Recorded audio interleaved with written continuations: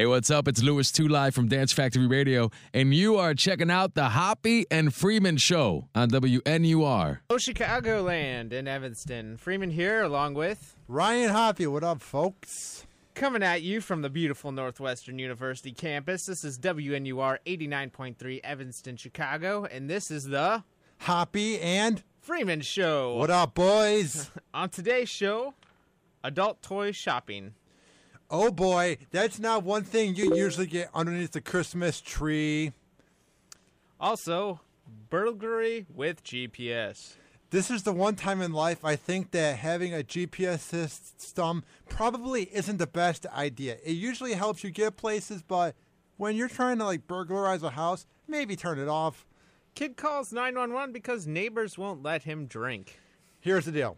We've all underage drink. We've all been caught by our parents, but we've never actually tried to incorporate it and get drunk with our neighbors. That kid's an absolute moron.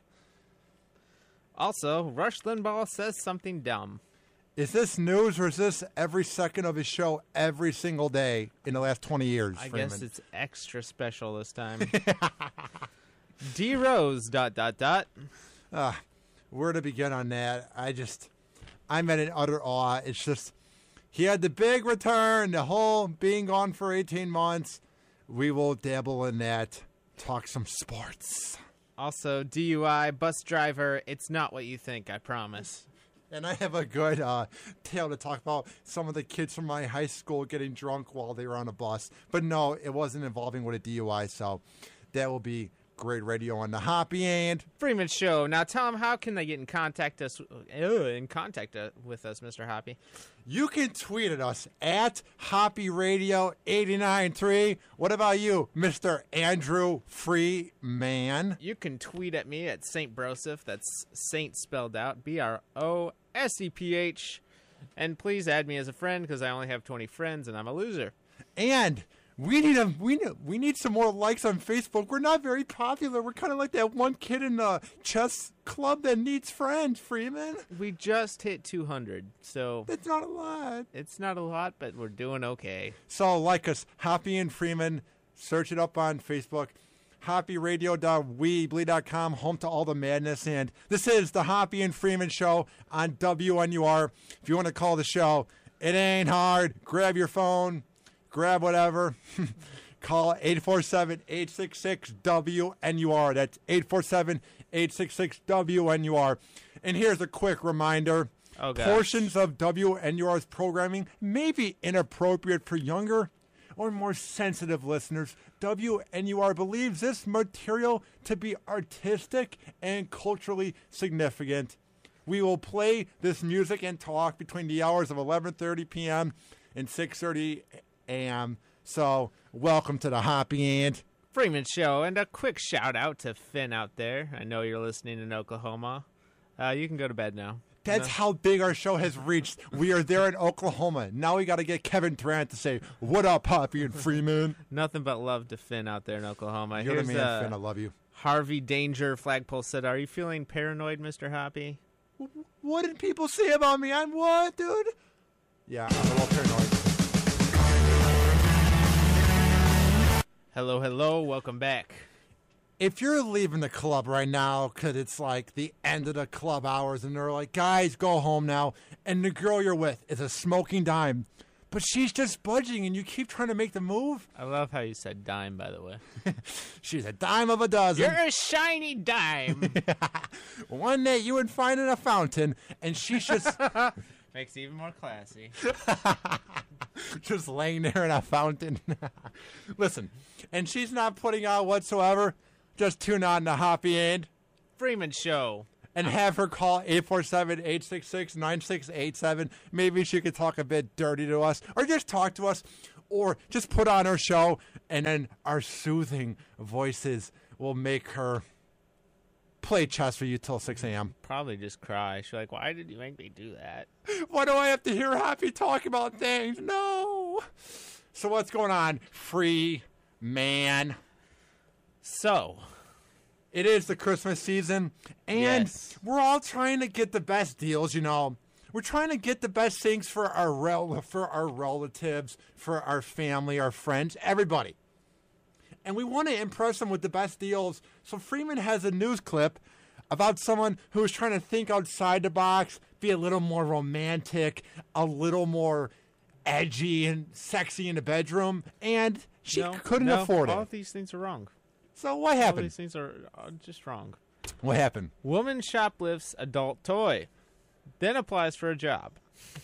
Explain, Mister Free, so uh, this woman shoplifted an adult toy, then applied for Yeah. a job, leaving her name and address on the application, which the police used to track her down and arrest her. So she went into one of those adult bookshops, the ones that are so sketchy and just say adult on the front and they look sketchy when you're outside of it.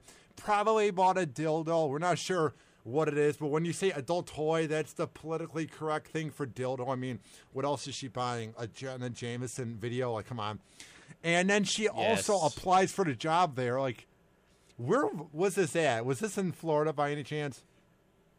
Let's see here, da, da, da, da, Florida. Yeah, Oh. this is a Florida woman. how did you? How did you know? I just kind of guessed since it's the wing of America, as Homer Simpson So likes to it's say. uh, it's November nineteenth when this happened. According to cops, Leanne, Leanne's her name, Franz or something like that. Who cares? She's as classy as a piece of dirt. Okay, enough of that. Went to Intimate Treasures store. I think I've been to that store. In uh, Crestview. Oh my God, I lived right by Crestview. You probably were in there drunk, just looking for some things to spice no, I up was the mood. completely so- sober. But uh, uh, should I leave her name, address, phone number? She left her name, address, and phone number with a manager of the store, and she got caught on camera. Uh, let's see. This woman just sounds like she has no idea that there's such thing as technology and looking you up on Google and Facebook and finding out where you're at with the whole IEP address. And when you look at her, she just doesn't look like the brightest bulb in the shack. She doesn't look 23 either. She looks like 40 years old. That's what meth does to you. Uh, she stole the s- short and sweet vibrator. That's that's the utensil she stole from this place. Very strange fetish there. It is unclear whether she uh, was reportedly intoxicated or not. I bet she was. Because she would have to be intoxicated to buy this short and sweet one. I mean, come on. Since she had given the store manager her contact details, Franz was qu- quickly contacted by the cops, who val- valued the stolen device at fifty nine ninety five. How embarrassing is this? You have a mugshot on the smokinggun.com. You're a national laughter because you were shoplifting an adult toy and you applied for that shop. Not only are you too broke to buy a dildo, but you're arrested for buying a dildo. Like, how embarrassing is that? Like, your mom and dad must be so proud that in your mugshot, you look like you're 40 years old and you're 23. And number two, you're the embarrassment of America in Florida. I mean, I wouldn't go that far, but she was quoted saying, "Oh my God, look at what I'm doing! Oh my God, I'm gonna cry." Yeah, her mugshot isn't the most attractive one ever. Let's just say that. I'm going to limp.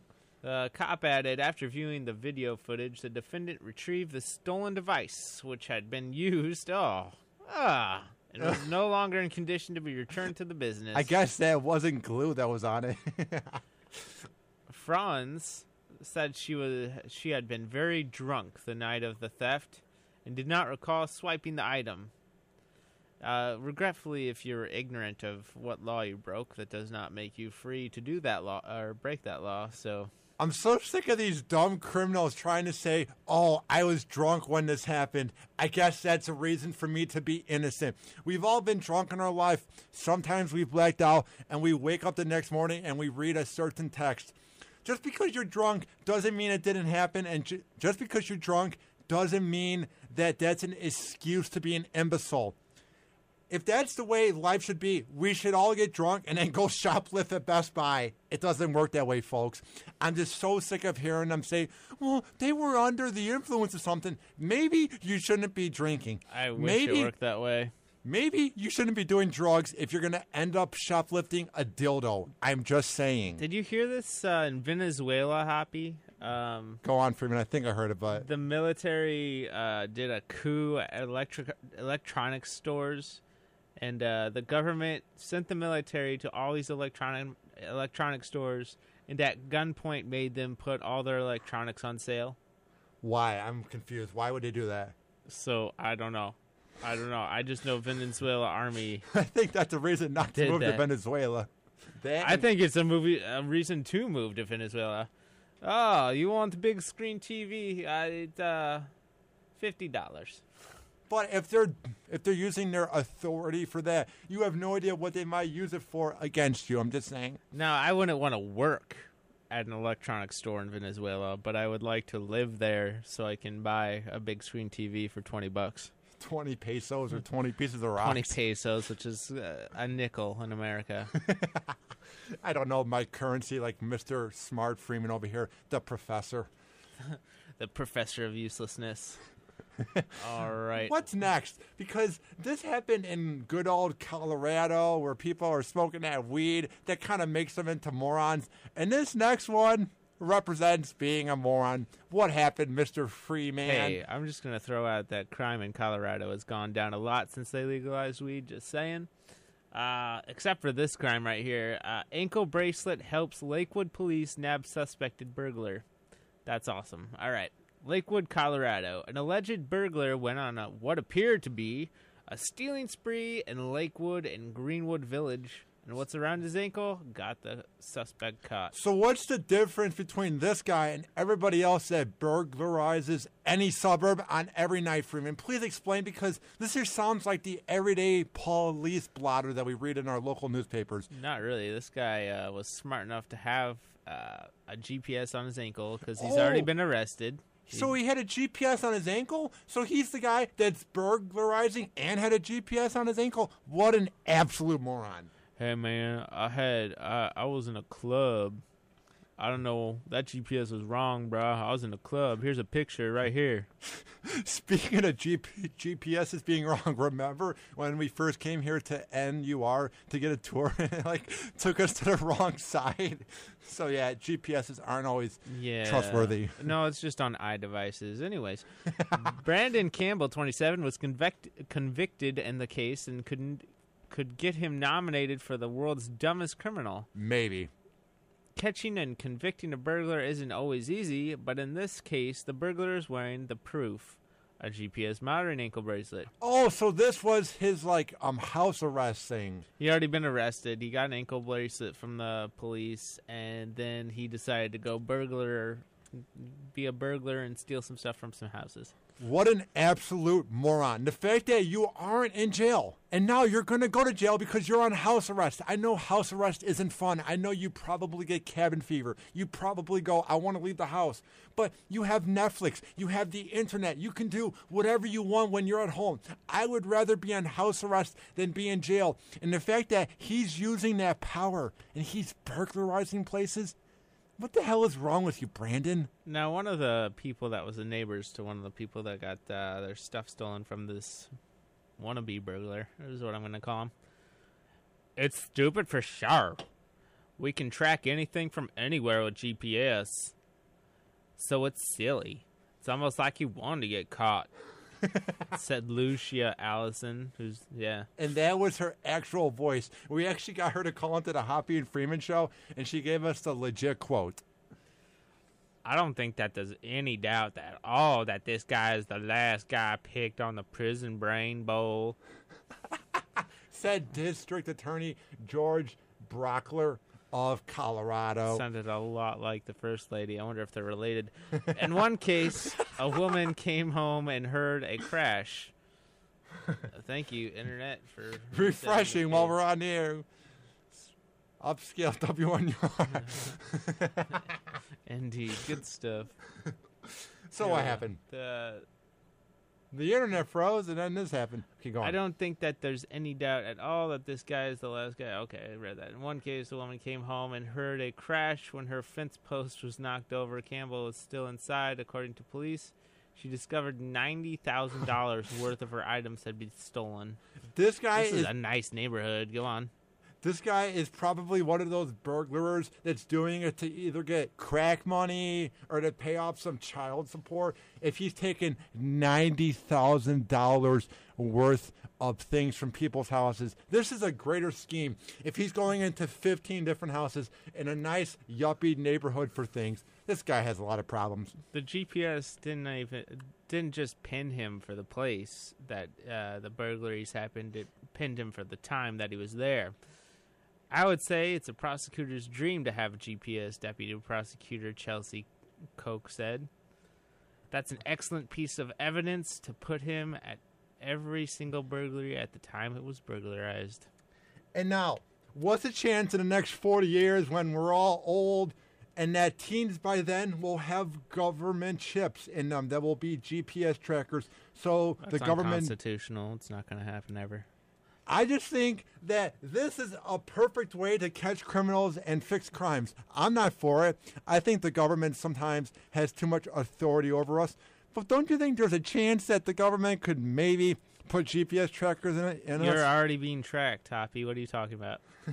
All they would see is Pornhub and AdultSwim.com. You have a cell phone in your pocket that is an electronic chip that the government can track you with. It it is very creepy because I was looking at some of my old um, pictures from when I went to Cleveland last summer, and it had the exact location, and I didn't even say it. It's like you were at Voinovich Park, you were at downtown Cleveland, and I guess I had my GPS on. I didn't say to the picture this was at Voinovich Park. This was at the Rock and Roll Hall of Fame. So when I saw that happen, I was actually legit creeped out. You know, do you know what I'm saying, Freeman? Like, if a cop were to look at a picture, he could pretty much figure out where I was in Cleveland, which isn't hard to figure out because that's a small dump of a town anyway. I mean, I just these days with the NSA, with everything that's going on, I'm not surprised by anything. That movie Public Enemy with Will Smith and Gene Hackman, it all came true. Frightening, right? That movie Eagle, it exists. Never heard of that movie. Who's it with? Uh, Shia LaBeouf. Oh, if he's in a movie, I'll never watch it then. Hands down, one of the worst actors of all time. No, that's that's crap. Sorry. He's actually pretty good. He also knows how to drive a car well. Are we talking about Shia LaBeouf or Beaver? Beaver who? Bieber. Oh, every damn celebrity does not know how to drive a car, so you could go down a whole list and be here till 9 a.m. listing them off. All right, we're gonna have a song. It's Maino, all the above. I promise it's the clean version. Or we'd be fined by the big boys. Yo, Pan, you ready? Yeah. Man, let's lock and load. Yeah. Just blaze. Yeah. No, turn me up. Hey. I think we got one. Yeah. Here we go. Tell me what do you see when you're looking at me? Whoa, whoa. Thank you for listening to the Hoppe and Freeman Show. hopperadio.weebly.com, hoppemedia.wordpress.com. Tweeted us during the week at hopperadio893 and at St. Broseph. B R O S E P H R hoppe9 at yahoo.com if you're interested in syndication inquiries or anything. All right. Have a great Thanksgiving. Appreciate life because I appreciate being on the radio. Shout out to Jamie and everybody at Freeform and WNUR for giving us this opportunity and for Freeman for crumpling up the paper of, of our Gobble, notes. gobble. We put in so much work into the show. We Gobble, love you, gobble. Chicago, the greatest city in the Midwest, the greatest city in the whole world. Thank you for listening. We'll be back next week with our Thanksgiving recap and all the crazy news. Gobble. Follow us Gobble, gobble. everywhere. We Gobble, love you. gobble, gobble, gobble, Have a gobble, great night. And Gobble, now- gobble, gobble, gobble, gobble, gobble, gobble.